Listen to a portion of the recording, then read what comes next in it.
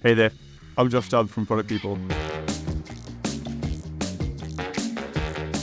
I've been working as a product manager for startups and larger companies for over three years. I've served clients like Backmarket and Microverse, as well as startups in Southern Africa, where I'm originally from. I have a background in business management sciences and transport economics. I'm fascinated by mobility and on-demand industries and venture capital. Outside of work, I'm surfing, running, and spending time with friends and family, usually drinking coffee. Feel free to reach out to me if you'd like to chat or ask me any questions.